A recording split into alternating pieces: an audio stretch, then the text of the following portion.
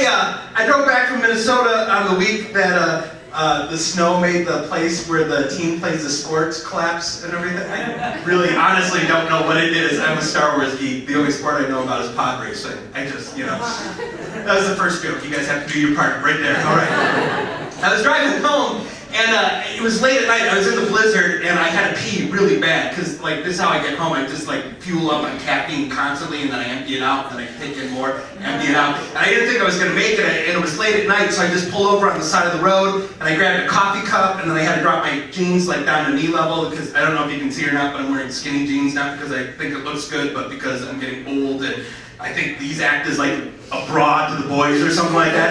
Because I've gotten to the point where sometimes I sit down in the morning and I teabag toilet water, which is awful. Because it's like sometimes I want to hit the snooze alarm and go back to bed, but it's like, no, I'm awake, I'm good to go.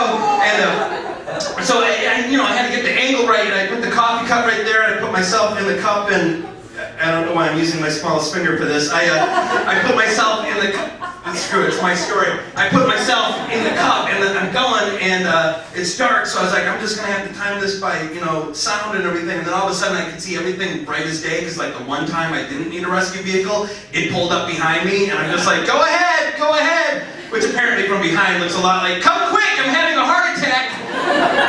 Because the rescue worker ran over and she's like, what's going on? And I'm like, she, great, I look like a pervert because essentially I'm mating with a coffee cup right now.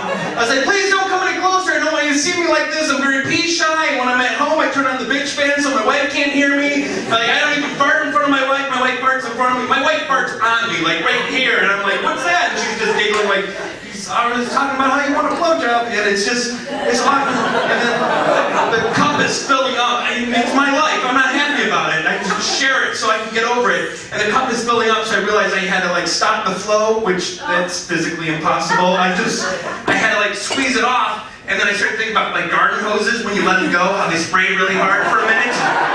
So I'm taking inventory of like everything in my car, like, well, there goes my cell phone and goodbye car radio. My iPod's totally screwed now. And uh, so I had to pour it out, and uh, I was like, please don't get out of boots. And I poured it out. She jumped back. She's like, oh my god, what is that? I'm like, 20 minutes ago, it was, coffee, and uh, she went back to her vehicle and was like cup after cup, just pouring it out like a bad bloody nose where it just won't stop. It was embarrassing. And now every time I'm driving, like on I-94, and I see an MDOT vehicle, I have this weird paranoia that they're calling their friends, like, "Hey, guess who's next to me? It's Sir Piss a Lot in the HHR."